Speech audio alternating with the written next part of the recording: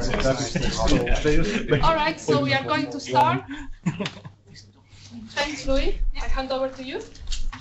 Hello, um, I'm Lou. Um, my talk is about optimizing a AAA Vulkan title on desktop. And I'm a DevTech engineer at AMD, so my job is basically to support the game developers that their game runs as, as optimal as possible on our hardware. So and I'm also ensuring that our driver does what it's supposed to do. So it's one side fixing the website, but also fixing the server side. Kind of being in the middle. And as part of this job, I worked during the last months on a Vulkan title. And this is what my talk is about, just to um, tell you a bit about my experiences I've done, what kind of optimization did work very well for this title, and maybe just um, a bit of what yeah, we've learned from this process and what maybe we can apply to this. So um, unfortunately, I'm not allowed to tell you what title this was. Um, so you kind of just have to believe me. But what I can tell you is that's the first Vulkan game title um, running with this engine. Um, there was a DirectX 11 version of this engine. There was also an interface of DirectX 12. Um, and then the game developers ported the engine to support Vulkan. And once um, the Vulkan version was somewhat stable, we started to look in, in um, optimizing the game. And that's what that's um, what the talk will be about about the optimizing part. So when optimizing a game, um, usually you can do like two things kind of in parallel. One is um, like following the best practices. Hopefully these um, just require minor engine. It's not always the case, but more or less. And then um, also other optimization opportunities, which usually require a bit of more engine restructuring and a bit more work. And you should start this um, early enough because it takes really quite a lot of time. You can also break some things and you get like new problems. So these both things have kind of hand in hand. So best practices, what are these? Um, this is not complete at all, but um, this is kind of based off what kind of um, was important for this particular game. So one thing is this is compression enabled, especially for the G buffer render targets. Then how about the barriers? Are they kind of like in the same state? Can we make use of the copy queue? How about shader building infrastructure? And then like the usual stuff like do we, do we have like the correct um, usage flags, um, layouts, and so on. And yes, this is kind of a checklist. As I said, it's not complete, but um, you can follow this through for your own game, for example. And then uh, about other optimization uh, opportunities, um, this is obviously very engine specific. For this engine and for this game, there was um, a great async com compute opportunity. So um, what basically is about is that if you have two frames, so frame one and frame two, um, you could overlap the beginning of the frame with the, um, the end of the frame with the beginning of the next frame. So basically do something like this. So if this is the post process, then you can overlap it with the pre-process of the next frame, um, but then still present on the graphics queue. And what's Vulkan specific, you can also present on compute queue. You can do this. But if you do this, I recommend that you still have this as a fallback in your engine just because of tooling, because not many games do this kind of stuff, so it can break tooling, but you definitely can do this. So, and you see it's kind of like, yeah, you have to switch back and stuff, and you just this would um, yeah, so what I'm going to um, talk about in detail during this talk is compression. And to be more precise about DCC, delta color compression is the technique we use in our hardware. Other vendors have their own compression techniques, um, but in this talk I will obviously just cover DCC. Then about barriers, what we did for this engine and game to um, optimize them, a bit about other synchronization um, problems and more smart things. So but let's start with DCC. Ah yeah, this is like the checklist I mentioned before. And I also won't forget async compute. So this will be also pop up during the talk. So yeah, but let's start with DCC. So DCC is delta color compression. I will talk about what it exactly is, then why do we want it, why should we care about it, what's the performance impact um, for this particular game, and how do we enable DCC. So this is like the most interesting question. So but what is DCC? So DCC stands for color compression. Um, it's for color targets, it's for color compression, and it takes advantage of the fact that render targets usually have slow varying data. So if you look at a blue sky, um, while most of it is blue, and there's like little variance between them. Another example is if you look at this picture, it's mostly beige. Kind of fascinating, even the fur of the raccoon is also kind of in the like the color of its surroundings. So you see it's like little variance between the neighboring pixels. And you see advantage of this. so on a very high level detail, what it does, it stores whole blocks. And one value is stored in full precision, and all the other values are stored in deltas, like as delta. And not one thing, it's lossless. So if you enable DCC, you don't lose any of the image quality. Um, yeah, so kind of like um, I want to enable it. And why? Because it saves bandwidth, basically. So if you do a lot of writing and reading, you save it. And um, like experience showed it's very beneficial for G buffer render targets. It can be also beneficial for other resources, of obviously, but if you have to pick a few one, then I would recommend you first look at the G buffer render targets because just experience showed that they usually benefit a lot from these bandwidth savings. So how much? Well, for this game title, um, you observed speed ups on all tested AMD cards, ranging between 5 to 10%. But of course, it really varies. Um, depends on the workload. It also depends between the graphics card. But for this game title, it was quite beneficial. So it was really a nice gain to get DCC enabled. So um, this should be quite convincing, right? So let's talk about how we get DCC enabled. And unfortunately, there's not just uh, like a setting you can set, oh, this is enabled, because um, the driver will enable it automatically if it's safe to do so. So as developers, we have to kind of ensure that it's safe to do so, and it depends on a number of different factors. So the first step is that you should just check if DCC is maybe already enabled, because if it's already enabled, you don't have to do anything anymore, right? And to check this, you can use RGP, it's the RGP profiler. Um, take a capture, and you go to the overview tab and the sub tab render dev targets. Here you will see a list of all the um, render dev it's in your game. And there's also a column um, that says compression, and then you can check if it's on and off.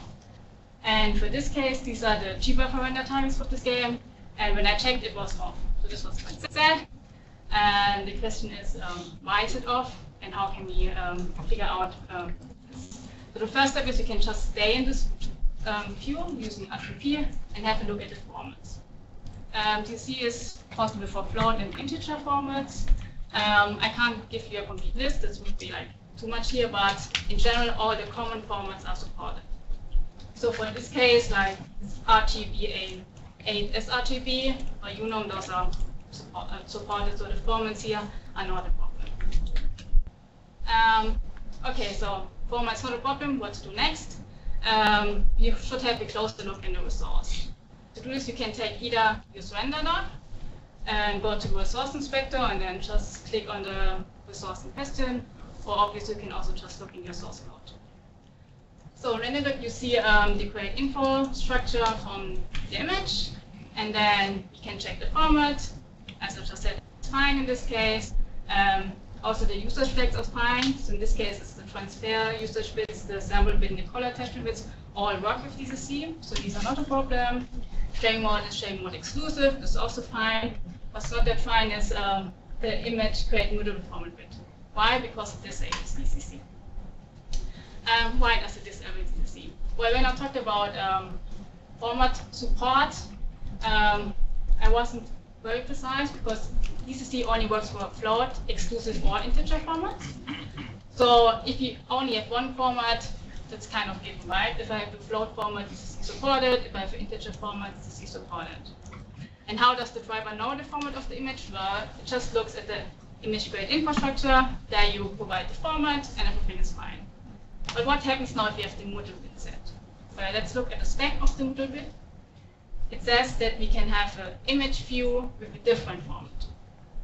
So this basically makes it impossible for the driver to rely on the format information from the create info structure. And, but this is important because the, the driver kind of needs to distinguish between those formats. the driver needs to know if it's an integer and float format used, because in this case, DCC has to be disabled. if there's maybe a format used which is not supported by DCC at all, then it has to be disabled as well. Or if um, you only use float formats, then this is enabled, can be enabled, or if you only use integer formats, it's the same. And we're looking at the mutable bit, the driver has no idea um, which of the following cases we have. So we kind of need to provide the driver with additional information to make the smart decision here. Because if you just have the immutable bit, the driver has to play safe and just disable DCC. Even though in theory it would be possible, but the driver just has to be safe in this case. So how can we provide the driver with more information? Well, luckily there's this extension is the KHR image format list, and here we can give the driver a list of all the image formats which have to be supported by the image, and based on this list, the driver can make a smarter decision.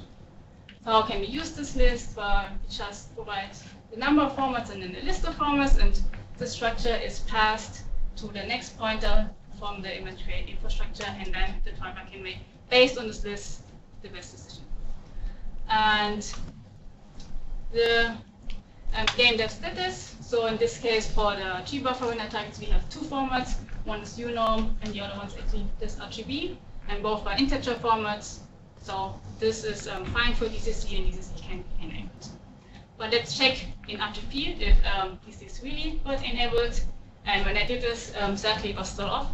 So I was kind of, okay, what's, what's the problem now? So let's go back to another and um, check what was wrong. And, well, format is fine, format's fine, user specs also fine, but the sharing mode changed from exclusive to concurrent. Why did it suddenly change? Well, during the weeks when the developers um, added this, they also added async compute support actually. And as a side effect, now all resources had as default the sharing mode. And it's, um, yeah, this was kind of like, whoop, because um, sharing mode concurrent actually um, disables DCC. And what does um, mode concurrent do? Well, it um, makes it possible to access the resource from different queue families.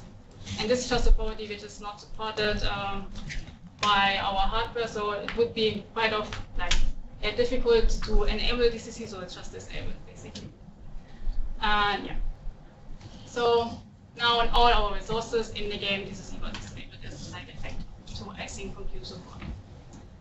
Another note of for um, async compute support on this um, they actually did what I mentioned in the beginning of the talk. So they overlapped the, the post-processing step from the frame with the pre-processing step of the next frame.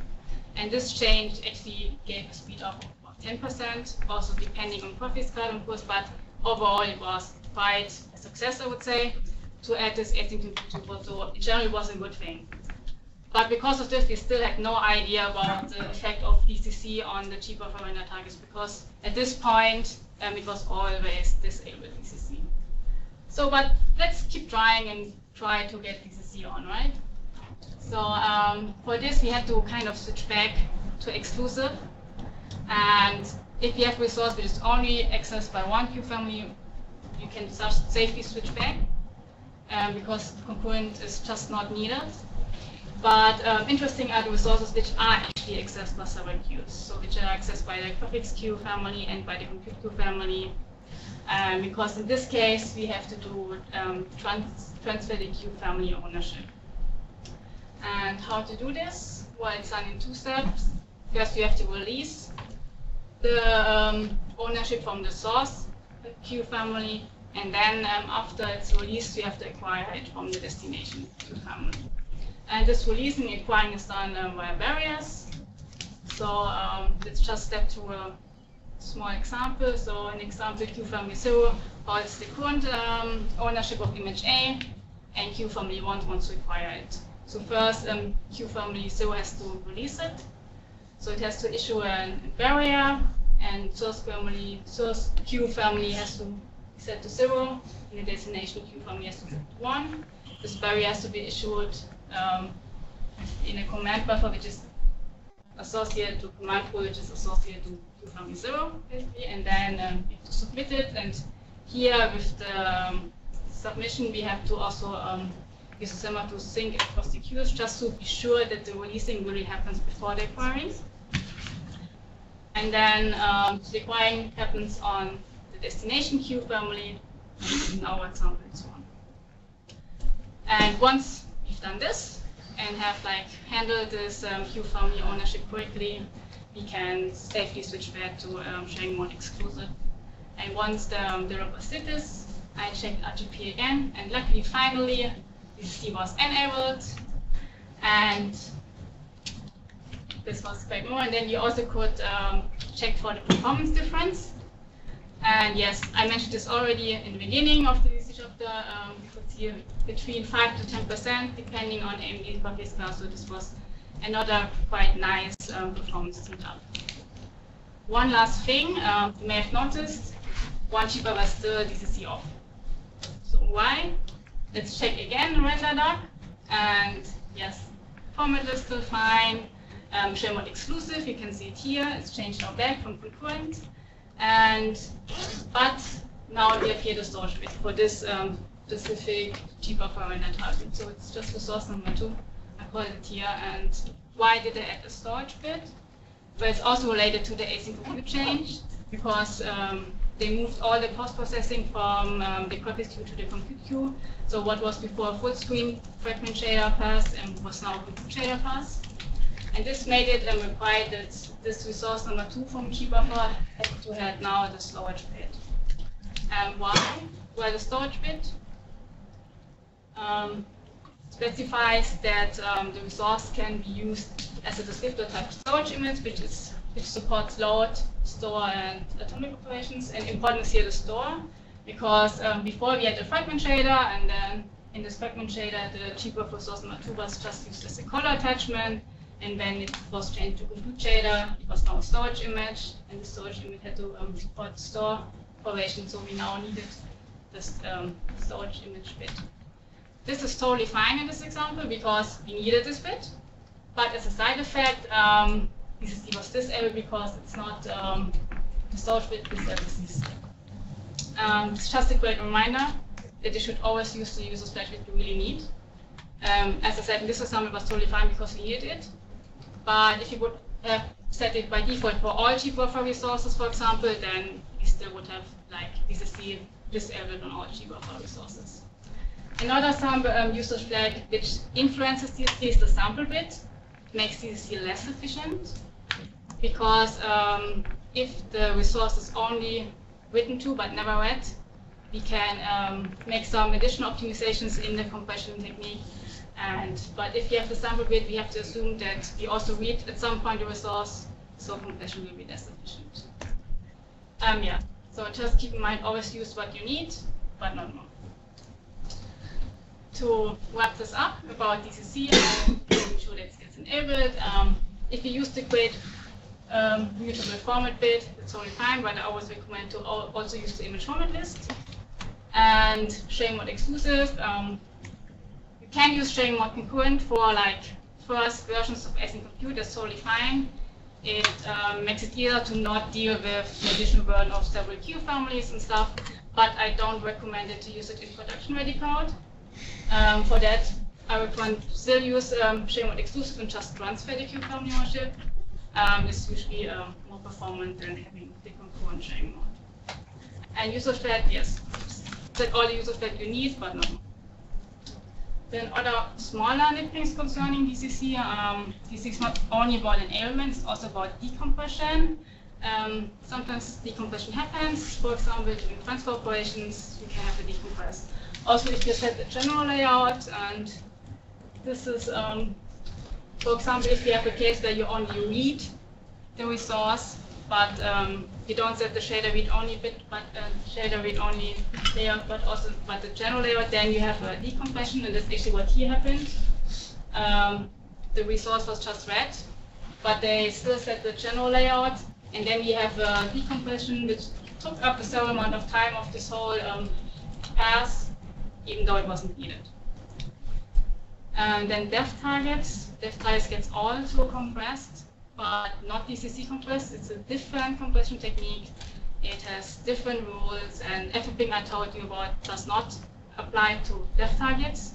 even though it's in the same column in RGP. Um, I just mentioned that you don't get confused because, um, for example, if you have for all the resources showing one concurrent, we still see that depth targets are compressed and just don't get. And then just kind of like a warning, because there's no rule without exception right. Um, sometimes they are tweaked in the driver for special cards. So um, something can happen, you follow all the guidelines and then C could be still disabled or something different happens. Just don't be confused by this. Um, in general, you will be fine because it's really just exceptions, but just be aware of it that sometimes you may observe different behavior expected. Yeah, but it's all about DCC. Now let's go to synchronization, and in particular about barriers. It's about placing them as smartly as possible, batching consecutive barriers, and also a bit about piping stage. We heard about this in the beginning, like the first talk, talked a lot about this. I will just talk really briefly about it, and then also so um, barriers. Most of the stuff I talk today is basically just the experience I've made with this um, engine and the issues we have with the barriers most likely had their roots in the original engine structure, which is DirectX 11 based, and DirectX 11 does not have barriers. And then um, how we solved this issue was just by rearranging barriers, batching them, and then some other findings, which is um, related to the piping stage mask. So, but how did the original engine setup work? Well, um, the original work was logic organized in components. It's a, there was like shadow map component, lighting component, um, dynamic models component, and so on. And each component had uh, constants. So in these constants, um, the information was got already in the beginning of the frame. So when we started to um, like record all these commands, and we already knew the uh, the constants associated with. And then let's go through an example that you understand like how it worked in the engine. So you have the constant information already in the beginning of the frame. Then constants A, B, and C are actually equal and constants d is in this example different. Um, so most of the constants were, they didn't vary between the components, just a few were different. And here in this example, A and B is uh, independent, C depends on A and B, and component B depends on component C. If you lay out the framework how they rendered it, um, what they did was that they updated the constants right before the associated component so what we had, we have a barrier to um, make the um, correct layout transition for the um, constants buffer. Then the update happened. Then we had another barrier to ensure that the update was done. Then we had the component, all the store commands, and then we had the next update constant for component B, and so on. So you see the work was very sequential. Even though between A and B is actually not a dependency, but because of this updating the con the constants, we had like this artificial separation between these components. So how can we make this better? Well, the first step is just rearrange. So just um, place all the constants in the beginning of the frame because we already have the information. So just do first update constants A, B, C, D, and then after this, um, do all this other work. And in this case, these will overlap because now we don't have a barrier between them anymore. and then we can do some further optimizations is by actually batching these barriers and let the updating like update constants overlap because they also don't depend on each other. And because these three are actually equal, we don't have to create redundant copies. We can just update it once and just let the components refer to the same location, so we reduce the number of updates. Um, what we ended up with in the engine was actually just this step. So we just rearranged it just because of time constraints. Um, we also have like the updating just sequential and then all the store commands. But this already showed the significant speed up. So um, what we had before, this was, um, these are the G buffers. So you see there's a like lot of holes because of these updating the constants. And when we rearranged them, we got rid of the holes, basically, and we also got a bit more overlap between other render um, targets, but also in between the cores, and you see it in this view better, so you see the occupancy got higher just because you have more overlap, there's more work for the GPU to process, and we didn't like train the GPU because of these um, barriers for the constant updates. And for the G buffer parts, we could observe the speed of about 15%, 10, 50% depending on the scene. And this was quite nice, just by rearranging the barriers and placing them in the front of the um, um, yeah. Another thing we did for barriers, using more batching consecutive barriers. So in early builds, we had like 10 or even more barriers right behind each other. And this is not necessary. You can just issue one pipeline barrier, um, including all the layout transfers. And you can do this because in common pipeline barrier, you can like specify the number of all these barriers and then just define the list. So if you have an example, for example, you have two image layer transfers, um, the naive way is just for each image layer transition, you can issue a separate command pipeline barrier. Or um, what's the better way is you just create a list of all your image layers and then submit it in one go with one pipeline barrier. And this also saves a bit of time because you don't have the overhead of committing all the separate command pipeline barriers. Um, yeah, pipeline stage mask. We heard about it already in the beginning of today. So it's just if you have like dependencies here, you don't need to wait until the bottom and overlap them.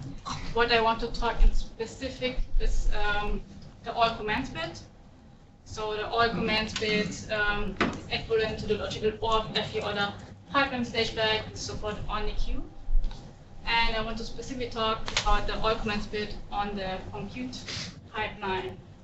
Because here from the compute pipeline, it includes the transfer stage bit, the compute shader stage bit, and also the bottom stage bit. And the bottom stage bit um, should not be ignored because it adds actually an end of pipe timestamp, and this can take up to 64k cycles on the async queue. So I recommend uh, not using all commands bit, just use the, the specific pipeline stage mask you really need. So for example, use um, state compute shader bit or stage transfer bit. And you will save um, considerable amount of time. So for example, first we had um, the all commands bit. So it took like 0.044. It's like synchronization is full. And then when we change this to um, compute shader and transfer bit, um, it's way less. So in this like small change made like huge improvement for the async compute passes because before we had a lot of idle time just for these barriers. With this change, um, yeah, we got rid of them. Yeah, this um, right. This was all about barriers. Now a bit about host queues on synchronization. Um, before we had async compute, um, we didn't have to deal with it. So the engine just had about seven command buffers per frame. Um, when async compute support was added, the amount doubled. And this is, was due because of synchronization, because at each sync point, we actually had to like submit the command buffer and issue a new one. So you can see the change here. Now we have all this semaphores and stuff. And it's not optimal how they handled it. Um, they also submitted sometimes empty command buffers just of the sake of synchronization. Um, there would have been a way to get around this, but it was just not feasible in the time frame because it was async was added, then it had all to like deal with the other stuff, and then also deal with empty command but it was just too much, and so short for release. But um, that's how they ended up with, just like not optimal, but it was okay, and just like a kind of observation we've done during the process. That cross-through synchronization was like, yeah, okay, we had like some like ugly command buffers and empty stuff to deal with, and here like a lot of small command buffers as well, but it's just yeah, side effect. Um, yeah, quick summary. Um, check the barriers. Can we rearrange them? Do we really need to submit the barrier right before we need it, or can we maybe move them to an earlier stage? Um, you can batch them if they're consecutive. Um, specify the stage mask as precise as possible. You can really save considerable amount of time. And yeah, synchronization is only process submission to boundaries. Yeah, and then now just other small things. It's really just more, won't talk too much about it. Um, it's about the copy queue, a little bit about the compute chain and compute and swap chain. I talked about in the beginning, and then a bit about shader So the copy queue. Um, copy queue is if you want to yeah, copy basically from the GPU to CPU. If you want to do GPU GPU copies, I wouldn't recommend it. So it's basically if you want to do copies which are not time critical. And for this game, there was such a case. So there was a resource we just needed to copy from the GPU to the CPU. It was not time critical, like the resource was needed in the first half of the frame at all, so we had like plenty of time to do it. And before they just did it on the graphics queue and was like blocking the whole GPU for about under 2% frame time.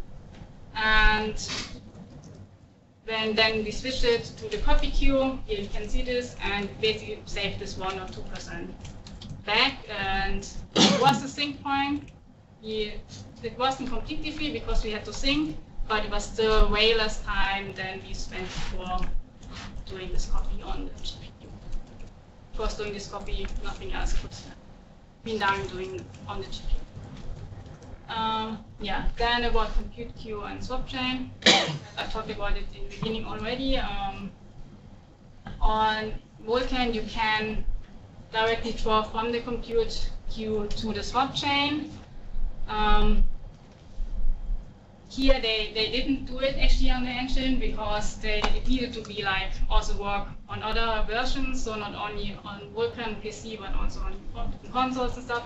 So that's why they had like this copy so basically they use the intermediate texture for the compute shaders, and then they copied this result to the swap on the graphics queue. And this is basically, this is the whole UI. And you see this copy is taking about one third of the UI computation. So um, in Vulkan actually does not need. So you just skip this and just draw um, render directly to the compute. And yeah, you could basically also present from the compute queue, but as I said, I would always have this path as a fallback as well, just because of tooling. And this is the last topic, it's about the shader building infrastructure. So in this game, um, they used HLSL shader code, and they had all those shaders already in HLSL, like not feasible at all to rewrite them in GLSL, and I wouldn't recommend that either. And in the beginning, they had the GLSlang validator, but then they switched to the DirectX compiler, and it's also what I what we basically would recommend because um, this path, like SPIR-V generated using this path, is um, we code our shader compiler sees the most. It's the most common path, and this also means it's um, the most optimized path. So um, generated by the DirectX compiler from the HLSL um, is yeah, the most optimized version. Um, yeah. So that's basically it, just as a reminder, um, check for compression, especially for cheaper render targets. And if you have to pick certain resources, then have a look at your barriers. Um, these are really important for performance. Um, is there a possibility to use the copy queue? Um, yeah, on Vulkan you can directly render to the software from the compute queue and he's used the DirectX compiler and quite the shares And yeah, thanks to these amazing people, without these possible. Also, thanks a lot to the game devs. Um, unfortunately, I can't mention them, but thanks to them a lot.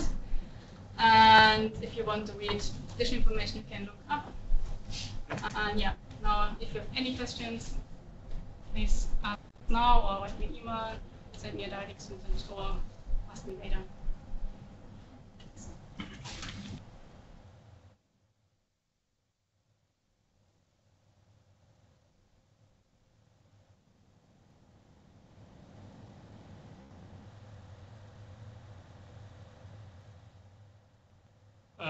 I have a question about uh, is, this, is it possible to add an extension where you could say here's an image create info, will this have DCC? Um, think in principle it's possible, it's just I'm not sure if we want this, but probably not, because we don't really like using like shipping a lot of extensions and most of them they never get used. But could be something. if there was demand for it, we'd do it. Yeah, but but right now I don't see it, yeah. Yeah, because I've seen cases on this. This is like very Polaris specific, but I've seen I've used concurrent where I, I render an image and I use it shader read only in the compute queue right afterwards. But I seem to get DCC anyways. Yeah. Uh, so that's a bit confusing. I- I- are there some rules where concurrent can still have DCC in the driver? I, I think concurrent mostly breaks if you concurrent with the transfer queue. I think there are cases where you need concurrent on the compute queue that it will still be active. I'm not sure what those Yeah, are. I think if you have the concurrent mode, by default it's just disabled because basically the driver doesn't really know how to use, how will you use the resource, even though it would be possible in theory. Yeah. Okay, So, Yeah, to clarify, because when you have concurrent, you can specify exactly which families it's Yeah. concurrent with, and then I also use only graphics and compute, not Mhm. transfer.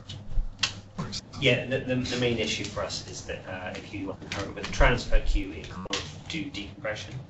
So um, you kind of have to stay decompressed at all times in order to be able to use that queue. Um, I think that compute queues can handle most decompression, not all of them. So there are, you know, there are, there are cases you can do, you can stay compressed and cases where you can't. Um, I, I haven't drive to see exactly what they are.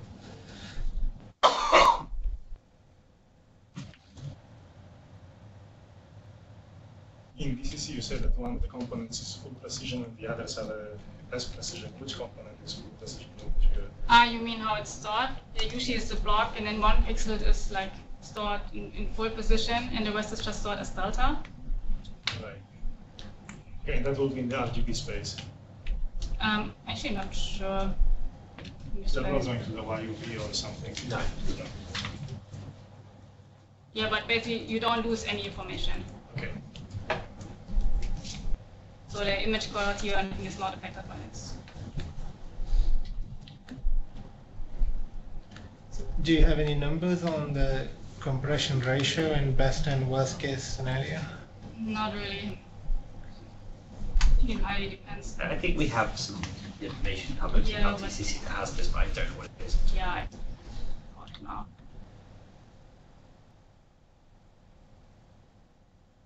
So about the async uh, compute and presenting for the compute queue, I think that's uh, an extremely nice uh, optimization, and I'm a bit surprised to say that uh, to hear that you say that we should do it because of tooling.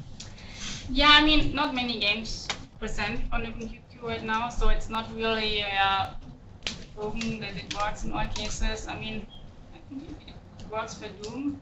They do that, and Yeah. tooling It, works. it just sounds very terrible to Right. sync back to the graphics Yeah, queue, yeah. and then the graphics queue it has to like sync to the uh, to the swap chain, right? Where you could leave all that on the computer. Yeah. I think if more games would go on this path, then the tools would also be more robust. Okay. But in this stage, I would still recommend uh, the other path, just for yeah, for debugging stuff. Okay, so it's it's like uh, RGP and, and Yeah, RenderDoc and yeah. stuff like that. Right. okay. Do you also get DCC for uncompressed textures or this is just render target specific? What do you mean? Do you, do you mean when you're uploading a texture? Uh, no, it's, uh, it's only generated, it's only sub-generated by rendering as far as I'm aware. I think it's technically possible, but I don't think we have that.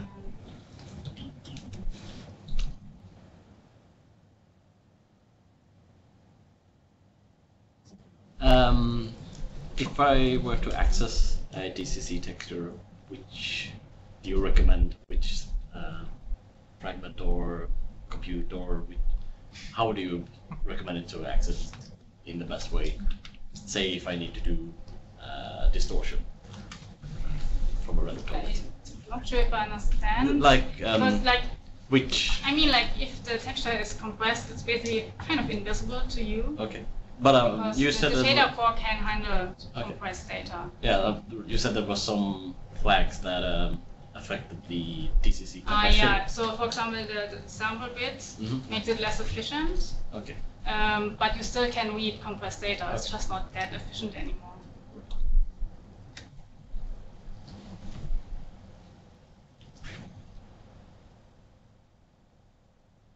Any more questions? Yeah. Uh, is there a difference between uh, shader read and input attachments there for uh, DCC performance.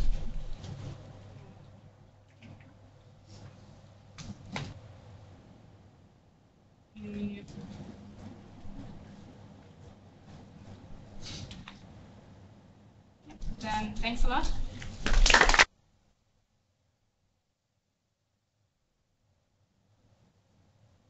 So now we'll arrange the room five, ten minutes for the panel discussion. So if you want to grab some more food, a tea, quickly, five, ten minutes, we are going to be back.